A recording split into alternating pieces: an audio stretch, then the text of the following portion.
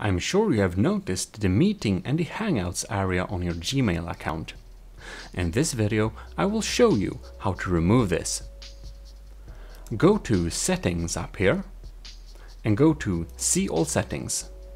You'll then just go to chat and meet and you select hangouts off and hide the meet section in the main menu and click save changes.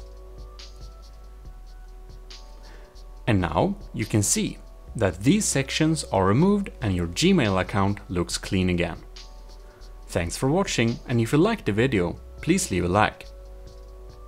I'll see you next time. This is Gmodism signing out.